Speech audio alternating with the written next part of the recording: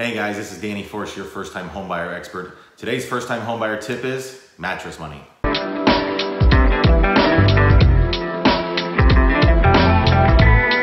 Did you know that if you're planning to buy a house and you plan on using money you have laying around the house, you won't be able to use that for closing? It's true. Mortgage lenders have to use sourced and seasoned funds to be able to show where the money you plan on using for closing is coming from to comply with federal anti-money laundering and anti-terrorism funding regulations. So if you have a bunch of money laying around that you plan on using for the funds due at closing, get in touch with a mortgage lender who's going to be able to help properly educate you on how to channel this correctly and legally to be able to use it for closing. There are certain ways to do it. The only part of the transaction you can use for cash is the inspection if your inspector will deal with cash. That's today's first time homebuyer tip. Stay tuned for all the rest and subscribe to all my social media channels.